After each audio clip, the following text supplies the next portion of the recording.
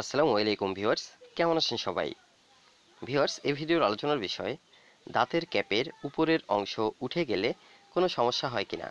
তো ভিউয়ার্স, এ ব্যাপারে বিস্তারিত আলোচনা শুরু করছি, ভিডিওটি দেখতে থাকুন।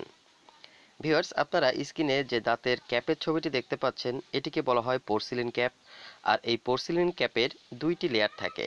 প্রথমত থাকে মেটাল অংশ, তারপরে থাকে পোর্সিলিন অংশ। ভিউয়ার্স এই যে পোর্সিলিন অংশটি, এটি দেখতে সেম দাঁতের কালারের মতো হয়ে থাকে। যার যেমন কালার তেমনভাবেই এই পোর্সিলিন ক্যাপগুলো তৈরি করা হয়। আর পোর্সিলিন ক্যাপের প্রথম যে অংশটি থাকে, তা হলো মেটাল অংশ, আর উপরে থাকে পোর্সিলিন অংশ। যে মেটাল অংশটি থাকে, এই মেটাল অংশটি খুবই মজবুত হয়ে থাকে, খুবই শক্ত এবং মজবুত। সাধারণত এই মেটাল অংশটি কখনোই ভেঙে যাওয়ার ঘটনা ঘটে না। কিন্তু দাঁতের উপরে ক্যাপের উপরে যে পোর্সিলিন অংশটি দেয়া থাকে, এটি কখনো কখনো ক্র্যাক করতে পারে, কখনো ফেটে যেতে পারে বা ভেঙে যেতে পারে বা উঠেও যেতে পারে। ভিউয়ার্স এখানে আপনারা দেখতে পাচ্ছেন, এখানে পরপর তিনটি দাঁতেই কিন্তু ক্যাপ করা হয়েছে। তো ক্যাপ করার পরেও এই ক্যাপটি ভালো থাকলেও এই ক্যাপের উপর থেকে কিছুটা পোর্সিলিন অংশ উঠে গেছে এবং নিচের মেটাল অংশটি দেখা যাচ্ছে। তো ভিউয়ার্স যদি এমনটি হয়ে থাকে সেই ক্ষেত্রে আপনাদের কোনো সমস্যা হবে না। যে দাঁতে রুট ক্যানাল ট্রিটমেন্ট করে এ ধরনের পোর্সিলিন ক্যাপ করা হয়েছে, সে দাঁতের জন্য কোনো ধরনের সমস্যা হয় না। কারণ এই যে ডাবল লেয়ারের যে ক্যাপটি বা পোর্সিলিন যে ক্যাপটি এই পোর্সিলিন অংশটি যদি কখনো উঠে যায়, তাহলে যে নিচে মেটাল অংশটি থাকে, সেই মেটাল অংশের দ্বারা আপনার দাঁতটি পুরোপুরিভাবে সুরক্ষিত থাকে। তারপরেও যদি কখনো এমনভাবে উঠে যেয়ে থাকে যদি কারও মনে হয় যে আপনি ক্যাপটি চেঞ্জ করতে চাবেন, চাচ্ছেন, তাহলে আপনি ক্যাপটি চেঞ্জ করে নিতে পারেন। নতুবা আপনার মাড়ির দাঁতের দিকে এমন থাকলেও কোনো ধরনের কোনো দিন কোনো সমস্যা হওয়ার কোনো সম্ভাবনা থাকবে না।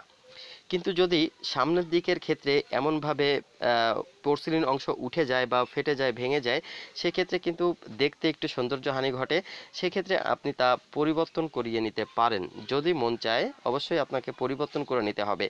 কারণ যে মেটাল অংশটি থাকে, তা দেখতে একটু কালো কালারের হয়ে থাকে বা সিলভার কালারের হয়ে থাকে। আর তার জন্য সামনের দিকে এমন থাকলে খুব একটা ভালো দেখায় না।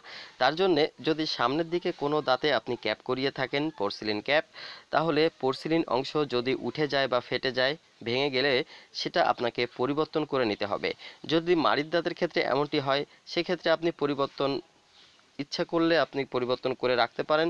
আবার যদি ইচ্ছা করেন যে না, পরিবর্তন করবেন না, সেটাও আপনি করতে পারেন। পোর্সিলিন অংশ উঠে যাওয়ার কারণে আপনার যে দাঁতের জন্য ক্যাপ করা হয়েছে, ওই দাঁতে কোনো ধরনের সমস্যা হয় না। ভিউয়ার্স, এখানে দেখতে পাচ্ছেন দুটি দাঁত এখানে পোর্সিলিন ক্যাপ করা হয়েছে। তো যেহেতু সামনের দিকে যদি কোনো সমস্যা হয় পোর্সিলিন অংশ উঠে যেয়ে থাকে, তাহলে আপনাকে ক্যাপ চেঞ্জ করায় চেঞ্জ করিয়ে নিতে হবে। কারণ সামনের দিকে সৌন্দর্যের একটা ব্যাপার রয়েছে। ভিউয়ার্স এই পোর্সিলিন ক্যাপগুলো যে পোর্সিলিন সচরাচরভাবে উঠে যায়, তা কিন্তু নয়।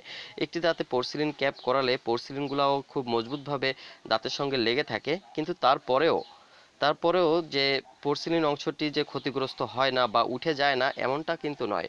অধিক চাপের কারণে, অধিক শক্ত কোনো কিছু কামড়ের কারণে কিন্তু পোর্সিলিন ক্ষতিগ্রস্ত হতে পারে। যদি সামনের দিকে হয়, আপনি সেটি চেঞ্জ করে নিতে পারেন। আর যদি মাড়ির দিকে হয়, তাহলে আপনার সেভাবে থাকলেও কোনো ধরনের সমস্যা হবে না। সামনের দিকে দাঁতেরও যদি কোনো দিন পোর্সিলিন অংশ ক্ষতিগ্রস্ত হয়, সেক্ষেত্রেও দাঁতের কোনো সমস্যা হবে না। কিন্তু মেটাল অংশটি শো হওয়ার কারণে, দেখা যাওয়ার কারণে আপনার দেখতে একটু কালো কালো লাগতে পারে আর এটা সৌন্দর্যহানির কারণ হতে পারে। তাই সামনের দিকে হলে আপনি চেঞ্জ করে নিতে পারেন। আর যদি মাড়ির দিকে হয় চেঞ্জ করালেও হয়, না করালেও কোনো ধরনের সমস্যা হওয়ার কথা নয়। তো ভিউয়ার্স ভিডিওর আলোচনা এই পর্যন্তই। ভিডিওটি ভালো লাগলে শেয়ার করবেন আর চ্যানেলটি ভালো লাগলে সাবস্ক্রাইব করে রাখতে পারেন দাঁত সম্পর্কে জানার জন্য। সবাই ভালো থাকবেন। আসসালামু আলাইকুম।